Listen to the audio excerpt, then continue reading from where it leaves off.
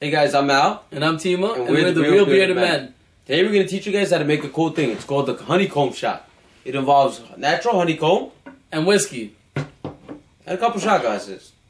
So what we're gonna do is, we're gonna take this honeycomb that we got here, and we're gonna put it into the shot glass.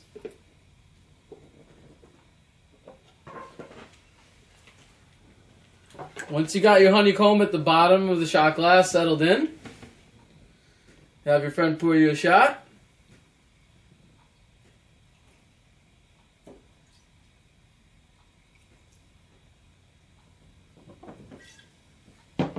Let it sit for a few seconds. You want the honey to get nice and settled in with the whiskey. Give it a little stir. Shake.